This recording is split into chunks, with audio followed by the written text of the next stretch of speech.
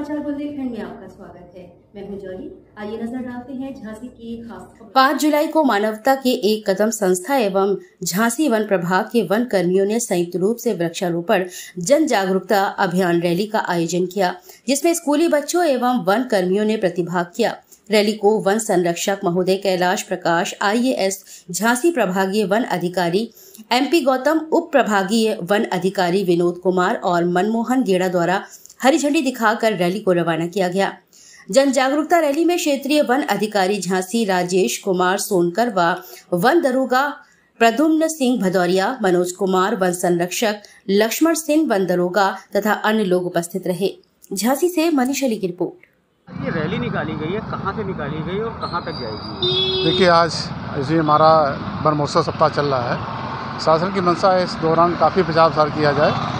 जो हमारा इस साल का लक्ष्य है पूरे प्रदेश का पैंतीस करोड़ का उसी क्रम में झांसी मंडल में कई दो करोड़ अस्सी लाख पौधे लगाए जाने हैं।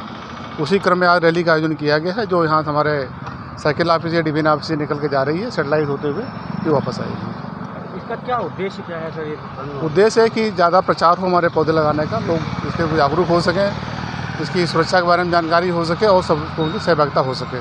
सर पौधे लगा दिए जाते हैं उसके बाद उनके रख रखाव के लिए कोई समुचित व्यवस्था आपके विभाग द्वारा की जा रही है? देखिए हम लोग जो पौधे लगा रहे हैं उनकी पूरी सुरक्षा व्यवस्था है। सब जगह ब्रिगार्ड बनेगा या टी गार्ड बनेगा।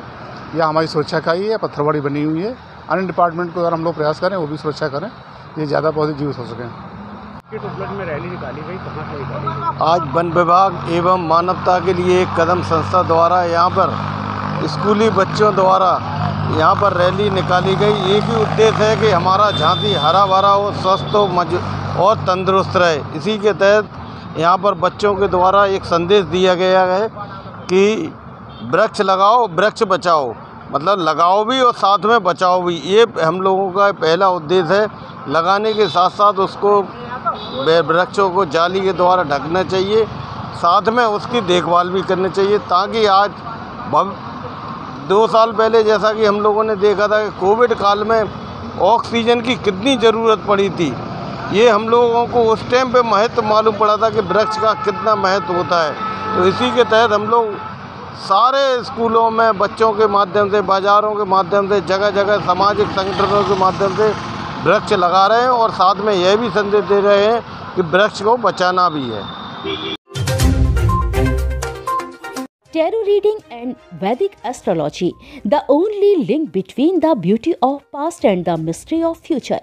हमारे यहाँ सभी प्रकार के धार्मिक कार्य श्री सत्यनारायण पूजा नवग्रह पूजन वास्तु पूजन श्री दुर्गा सप्तशती पाठ सुंदरकांड अखंड रामायण महामृत्युंजय जाप गणेश याग गरुड़ पुराण रुद्राभिषेक इत्यादि शास्त्रोत विधि से कराए जाते हैं फ़ोन नंबर है 9140127622 7307954